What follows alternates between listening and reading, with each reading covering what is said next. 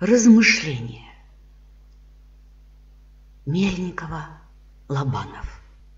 Я прочитала на днях размышления Геннадия Лобанова. И мне показалось, что они могут навести на какие-то мысли и всех нас, или многих. И захотелось прочитать вслух. Но вдруг захотелось придать им, этим размышлениям, и свое, то, как чувствую я.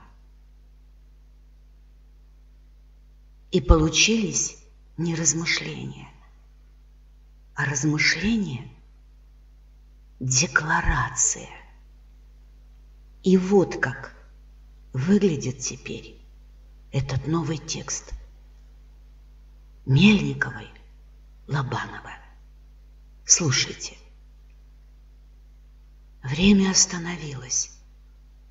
Звенящая пустота и напряжение. Что-то будет меняться в этом мире. И в лучшую сторону. Меня нет. Я где-то. Где сам не знаю, переносясь из одного измерения в другое.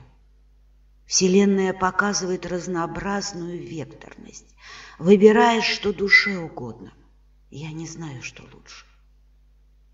Но стараюсь идти своим путем, почувствовать бы его.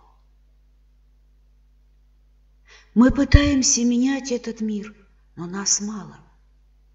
А надо ли всем остальным быть с нами? Иногда хочется остаться в привычном измерении, где все хорошо и отлажено. И мне. Но вдруг понимаешь, что это скучно. Да и миссию в этом мире надо выполнять. Я не падаю духом, я работаю. Такие, как я, мы. Мы стоим перед новым этапом развития. Это сложный период, как может показаться. Но на самом деле это не так. Это легко и окрыляюще, сладко греюще концом пути, а значит светом и безобъятной любовью. Всевышний, придай нам силы пройти этот путь. И я знаю, что все мы, что все мы пройдем, кому надо, и кто уже идет, и кто захочет пройти – и у нас откроются и открываются новые горизонты беспредельности, многомерности, возможностей и еще, и еще развития и счастья.